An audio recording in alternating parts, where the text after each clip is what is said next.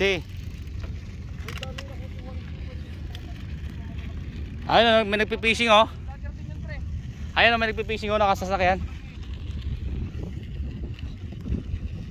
Ha? Okay. Isaan mo ako pre para kapag ano. Nakakuha din ako yan.